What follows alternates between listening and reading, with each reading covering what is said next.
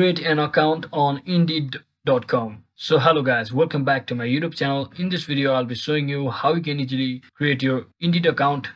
So first thing what you can do is simply head over to your any browser and simply search in for indeed.com from your browser. And once you search in you will be redirected to this page. From over here you can simply click on get started from over here. And just enter your gmail. You can also log in with your continue with your Google account if you have one, or you can also use your Apple ID, Apple account.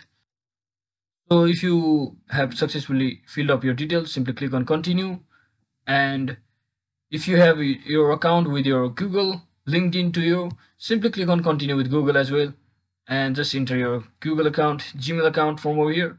And just click on continue and you just enter your password.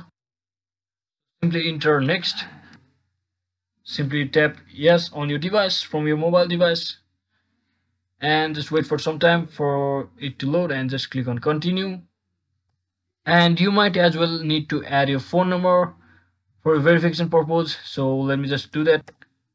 And before you enter your phone number just make sure your country is valid for this indeed application. As you can see my country is not valid for this application and it's not valid.